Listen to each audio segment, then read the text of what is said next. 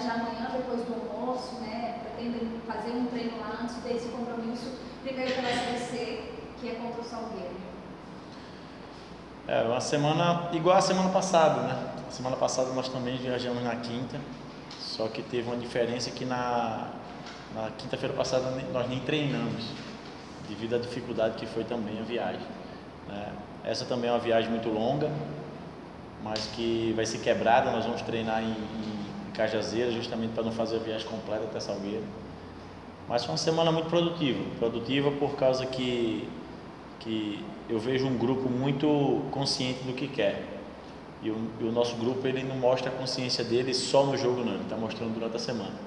Eu tive uma preocupação muito grande do, no início dessa semana, no caso que a nossa representação foi na, terça, na segunda-feira, de alertar os nossos atletas da, da importância do jogo de sábado contra o Salgueiro. Porque o Salgueiro é dito lanterna, né, o time que ainda não venceu e que o ABC vai ter que chegar lá e vai ter que conquistar os três pontos.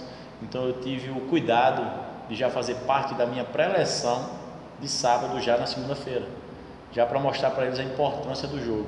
E para mostrar para eles, eles sabem disso, que os três pontos não é conquistado no dia, é conquistado durante a semana. Então por isso eu tive o cuidado e o carinho de de, de ressaltar né, a dificuldade que vai ser o jogo contra o Salgueiro, porque você jogar contra o Salgueiro na situação que ele está é complicado, porque você é dito favorito, você é dito uh, que vai ter que conquistar os três pontos, mas não funciona dessa forma. O Salgueiro vem numa, numa situação muito difícil, muito complicada e vai querer reverter essa situação. E nesse querer reverter essa situação, o jogo não vai ficar tão fácil como se imagina, como se acha, se você olhar a tabela de classificação. A gente conhece o Salgueiro de muitos anos e você jogar lá dentro de Salgueiro é muito complicado. Uma coisa que vai ser benéfica para a gente que o jogo vai ser à noite, vai ser às 7 horas, então não vai ser naquele calorão todo que é lá no sertão de Pernambuco, mas que se torna um jogo muito difícil por causa da situação do adversário e por causa de que eles também têm um grande treinador. O China é um cara muito estrategista, estrategista ao ponto de que eu tenho alguns jogos de China e ele está jogando no 4-1-4-1, está jogando no 5-4-2, 5-4-1.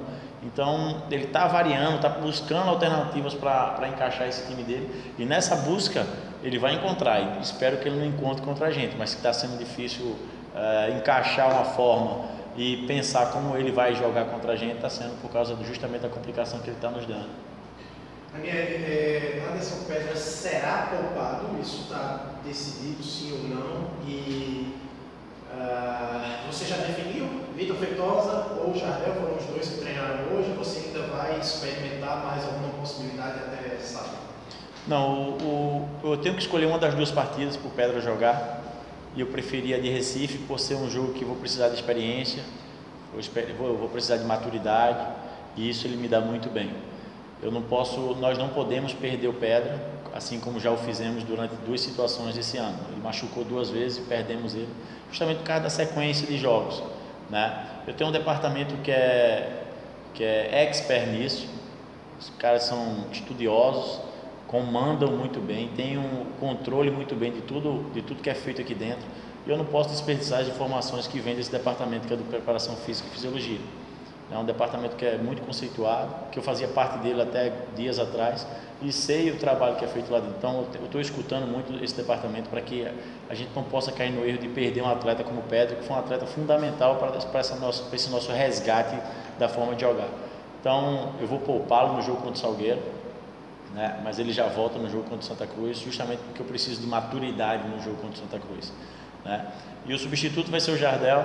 Eu pretendo iniciar com o Jardel, apesar de ter também é, feito um teste com Feitosa, mas pretendo conversar com o Jardel por causa da condição de um passe mais longo, de uma qualidade de passe melhor que o Jardel pode me proporcionar.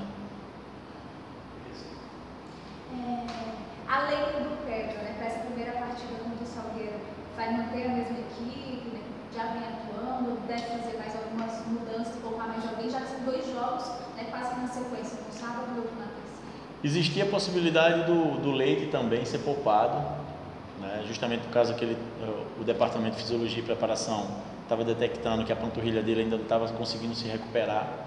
Né? Mas hoje, exames que foram feitos hoje constataram que normalizou, então o leite poderia ter sido é, eh, eh, poupado, mas aí eu vou, não vou poupá-lo por causa que os exames, os exames deram, o diagnóstico feito pelos meninos foram, foram favoráveis. Então o time começa o mesmo, só com a única modificação da saída do Pedra e entrada do Jardel.